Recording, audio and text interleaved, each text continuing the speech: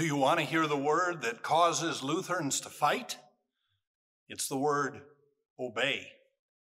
Just throw that word out in a conversation that we have to obey Jesus and see what happens. Oh, we love to fight about that word because, first of all, we know that our obedience does not earn us salvation. We know that we cannot work hard enough or obey well enough that Jesus will forgive all of our sins. That's a gracious gift from his cross to us.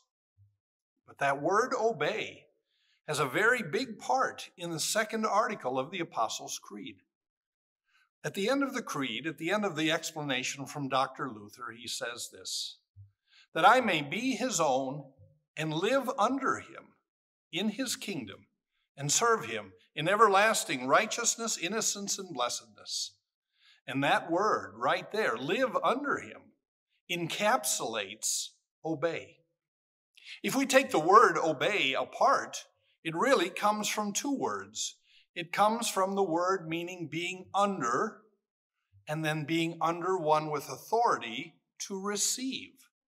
So, under one with authority to receive his gifts is what it means to obey.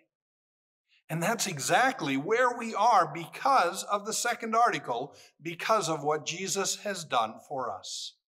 He has gone to the cross. He has taken away the sins of all mankind from Adam and Eve and to people who aren't even born yet. Jesus has paid the price for all sin with his holy, precious, and innocent blood, shed on the cross for you. And when Jesus on the cross said that our sins were forgiven, he speaks with the authority of the second member of the Trinity. God has said to you through the cross that you are forgiven. And there is no authority that can beat that. To live and to obey is to live under one who has authority, that we might receive his gifts. You see, when we talk about the word obey, we get bent out of shape so quickly because someone is going to tell me what to do. Someone is going to push me around. I can't make decisions for myself. Well, when we talk about the word obey in the right sense, that it is being under someone who has authority, that we might receive the gifts, it changes everything. Jesus Christ on the cross has forgiven us, and now his desire is that we obey, that we live under him, under his authority, who has forgiven us, and we receive his gifts. We gather in the divine worship service, and what do we hear? As a called and ordained servant of Christ, and by his authority, and therefore forgive you all your sins.